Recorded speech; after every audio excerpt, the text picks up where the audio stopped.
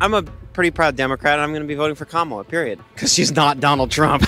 He's a convicted felon, 34 felonies. I mean, what? How many? Has he more? 60 more? 50 more? Like, dude's an absolute criminal, rapes women, steals from people. Yeah. Have you heard of um, an actual case where he raped? Yeah. Yeah, E. Jean Carroll, bro. Heard of it? A woman who successfully sued former President Donald Trump for sexual abuse was up early today. E. Jean Carroll made the rounds on morning TV, saying she feels vindicated after years of Trump defaming her. A certain candidate is more concerned about the well being of white people and men specifically. Am I allowed to say without like getting beat up? Kamala. In this election, we each face a question. What kind of country do we want to live in?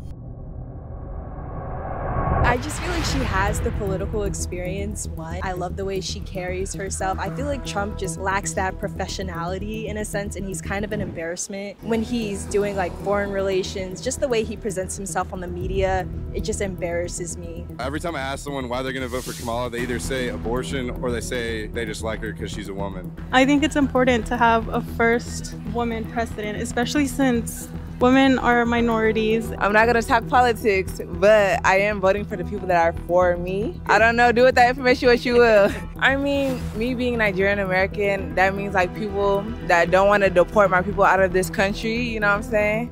By far the highest number of illegal visa overstays, and by far a new record being set every single week. I think it's a little bit not of my business because Biden or Harris, whoever uh, won the president, doesn't ma- uh, matter to me because a passerby. Where do you want to go to once you're done with school? I may come back to my country. Where's your country? I'm from China. What would you say to any immigrant who's going to vote for Trump? Why? I don't. I don't know. I don't know why they would do that, but I really hope they look into his values. I think a lot of policies right now are based off of certain religious beliefs. And I think if we are sticking to the Constitution, as some would like to implement, then we should not cherry pick what we're doing and have full freedom of religion instead of basing policies off of certain religious beliefs. I want to remind you of the promise of Scripture. Weeping may endure for a night, but joy cometh in the morning. Today, I am on campus at the University of Texas at Austin asking 100 college students if they'll be voting in the 2024 election, who they're voting for, and why. Keep in mind, the goal isn't to debate, but to hear the issues that matter most to tomorrow's leaders. Public vote did guarantee a spot for who the president is. I don't think that Kamala would be getting it because of how internalized both our racism and sexism is in the country. But also, like adding on to that, speaking of which, even with popularity, like popular votes don't really matter uh, versus the electoral college. So even those that are voting independent, unless you have people in the electoral college that are representing that independent party, they're not actually deciding who the president is, right? Because electoral college takes it. It has they have more power than we do as like giving popular votes. So I guess I don't know. In summary, I don't love this election, and I also don't love the way that the U.S. does voting because I don't think that it should be by electoral college votes. yeah, it's not really with the people, then, is it? I think voting in every election is very important, or at least the ones that are pretty major. Uh, the presidential election is a pretty big one, and I think this year is a pretty serious time with a lot of unprecedented things that haven't happened before. The younger generation usually has more voters. It's still not everyone who knows a lot about either the candidates or how voting works. Voting does make a difference, even if it's just one vote you still go towards a popular vote, you still go towards some difference being made, and that is the easiest way that you can actually make a difference in this election cycle. Generally, I get the impression that we just don't really care about voting, like at least not nearly as much as like the older generation does. Being in college with DEI and everything going on, me personally, my orgs have been affected. My lifestyle on campus at a PWI has also been affected. So you know, all my mentors, they've been preaching, go out and vote, go out and vote. Your voice matters. What you do makes a change. Public vote did guarantee a spot for who the president is. I don't think that Kamala would be getting it because of how internalized both our racism and sexism is in the country. Personally, I will be voting for Kamala. Can I ask why? Um, she aligns with my values. A lot of her policies, she, she talks about policies.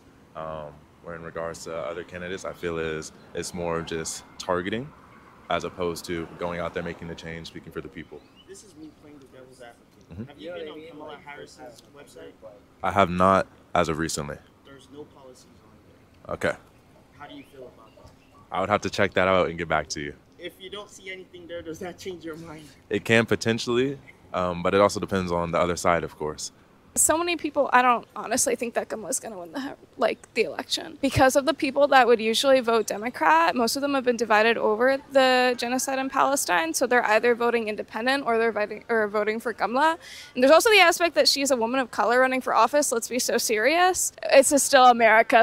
like I think it's important to have a first woman president, especially since women are minorities, and I don't really agree with the other nominee for the presidential election. I want to say that she's just overall for human rights. I feel like she's politically more experienced. She served under Biden, and I like the representation and I like what she did under Biden. She specifically said that she was going to target the inflation rates that are going on. I don't know exactly what that's going to entail, but I believe her. so that, and I know that. Um, she was talking about abortion specifically, and I'm not going to be against abortion for any woman who feels that that's her choice. I support a woman who feels like that that's what they want to do. I don't know, a lot of stuff with women's rights is going on, so I feel like it's important that I should vote in this. The ability for women to make their decisions on their own,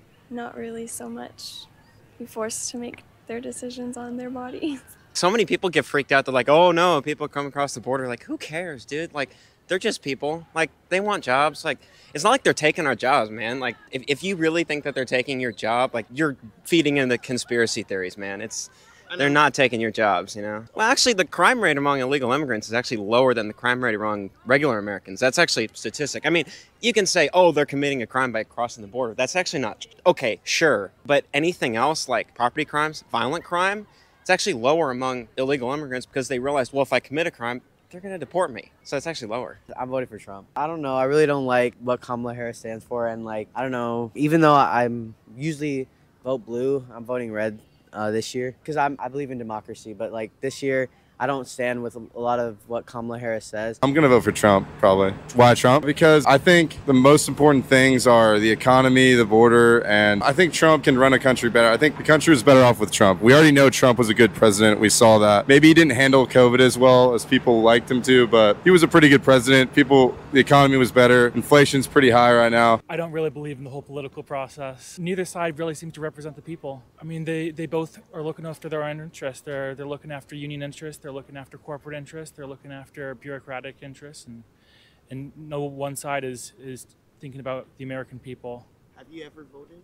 Uh, yeah, I voted in like the last three elections. I- mean, I knew that my vote didn't really make a difference. The- states that I've been able to vote in um, leaned heavily blue or heavily red, and my vote is far away from being a difference maker. If I were to vote this election, it might be Donald Trump. I like some of the people that he's surrounded himself with recently. RFK just had that endorsement. I think the VP guy seems like a decent fellow. Nothing going on on the Kamala team is exciting to me. My mother and father have, have always been voters. They've participated in every election. So that's kind of what's made me vote in the past. So it's been some disillusionment recently that's pushed me away from feeling like that's important for me to participate in. Yes, I do think my vote matters, especially because I come from a Hispanic background. Many of my um, parents and uncles are able to vote, but they don't vote at all because they don't believe in that, but I do. Right now, there's a lot of people coming in, and I'm, I'm very happy that they are and that they're receiving help because, I mean, in their home countries, they are. Um, they're experiencing, I mean, very bad situations. But then also, there's people here that have um, had harder processes to get here, as in they've traveled really far, they walk, they've gotten into like trailers and stuff and suffer getting here.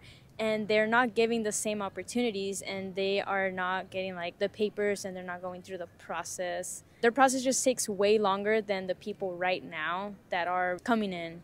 So it's something that I'm. So you're saying it's unfair, Yes, I, I feel like it is kind of unfair. And you want some control. I, I yes, I do believe in that because uh, the immigrants that are coming in are facing those difficulties that others faced.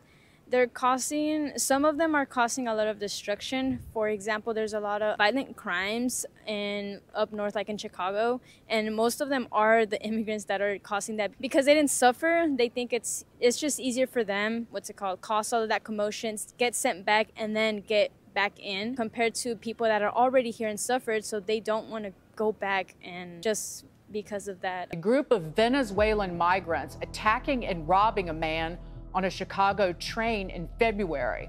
Their surveillance images show one of the suspects choke the man while others pick his pockets. So our partners at News Nation, they're reporting it's part of a Venezuelan gang.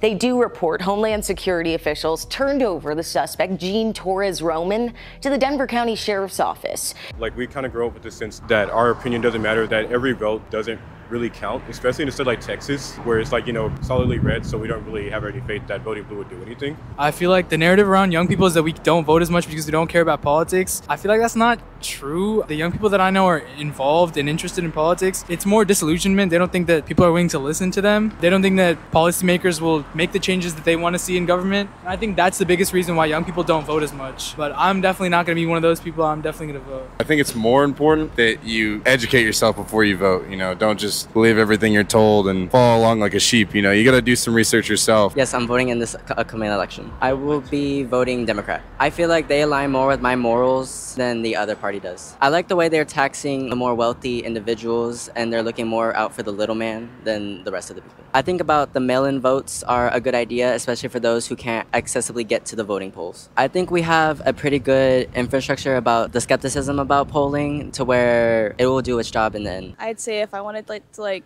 keep a bunch of my rights and stuff like that, I'd say Kamala Harris. What's one right that you think Trump's gonna take away from? I feel like he'd try to take away definitely LGBTQ rights. Kamala as a vice president, I don't think she ever accomplished much. Every time I ask someone why they're going to vote for Kamala, they either say abortion or they say they just like her because she's a woman. I'm not going to talk politics, but I am voting for the people that are for me. I don't know, do with that information what you will. I mean, me being Nigerian American, that means like people that don't want to deport my people out of this country, you know what I'm saying? That's just a hint right there. You can't really complain about policy if you don't vote. Color should not be the sole reason that you vote. But I do think it's awesome if we do get to have a president who is like the first female president of color. But I don't, I'm not going to vote at the end of the day based off the color of the president. Age can have a correlation with mental capacity, but it's not always like a causation thing. So I don't think that just because you're old means that you're unqualified for presidency. But I think that if there's like other signs if you're just ineffective to lead, I think that's an issue. I know I for sure don't like a certain politician, and then you, you know, saying his name? Donald Trump. Come on, nobody likes Donald Trump. I certainly don't like him. But you said nobody. Well, you'd be surprised. well, I hope people with uh, morals like good people. Well, I don't know. I guess you can be good. I, don't know. I, I question what type of person you are if you do like him. I think in America is one of the only few countries in the world actually that has free speech. I've been to many countries in Europe, Asia, uh, Africa that don't have, like countries that really don't have free speech and the citizens really don't have that many rights. There should be a limit to what you can say and what you can't say. I think once like you cross the limit, I think there should be like a little bit of consequences, but overall, I think America does have free speech though. Once you get to a certain point where like you're making like derogatory comments towards somebody that could be like racial or like slurs or anything like that, that that's where it gets to a point where you might have gone too far. Like climate change, like global warming, environmentalism, eh, the economy, taxes. I think that she's the best fit for America right now. I feel like her and Tim Walz, the new vice presidential candidate who she's selected as vice president, I think that they're they can make America like get back to how it was and get back to make a, it, America an even better country to live in. I don't think that Trump is a good leader. I think that he like brings a lot of dangers to Amer- America and stuff. So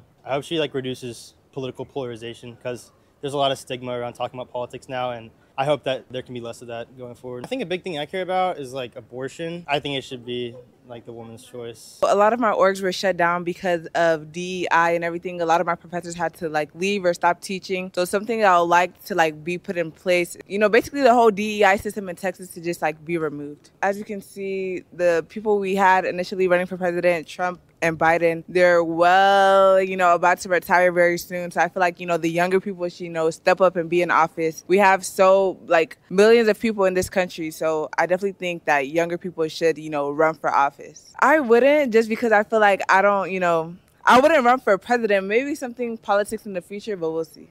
But not president. But not president. Why not? I feel like not everyone can wake up and say that they want to be president. Like you have to have it and you have to know how to, you know, control people, run people, manage people, manage a country, and I feel like that's just a lot. Have you lost friends from No. telling them who you're voting for? No, I don't. No, I don't think so. And at the same time, you know, if, if they decide to go ahead and just have their views in front of them before me, well, then that's their decision to make. At least that shows me what uh, what kind of a person they are. At least I judge them better based off of whether they don't know whether they could at least face the fact that people have other opinions than them, and we just have to learn how to respect one another. It's perfectly fine. So far, um, I'm very conflicted. I'm leaning on one side, leaning on the other. I'm not too sure. More than likely, I might go blue. I don't know. Please stay tuned.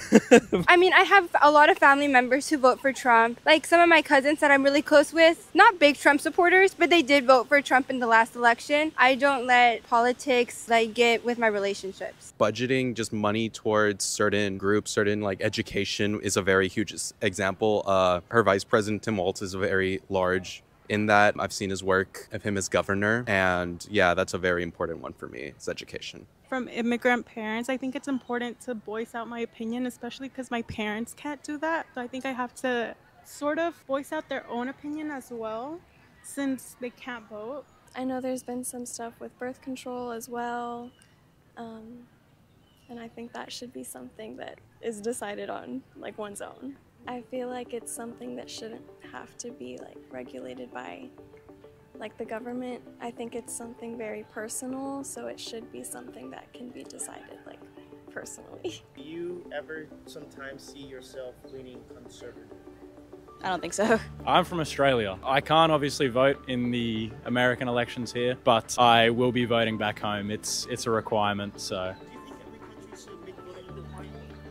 look, I I support the idea because I think it is always better to encourage people to uh, speak and voice their own opinions in, in civil matters like that. So I think it's always a, a positive influence for sure.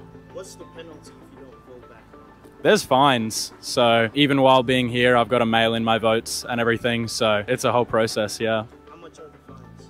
Look, I'm not sure. I haven't I haven't gotten one yet, and hopefully I won't. I know they're it's not something you can just ignore really. From an outside perspective, I mean it's even similar to back home. I I'm not a big fan of the two-party system. I believe that it just kind of divides people and I really think that that isn't something that we should be aiming for, especially in recent years. It has gotten a lot worse. And, you know, I definitely think that should be something that we should be striving in all aspects of the world, both uh, back home and here, to really rectify.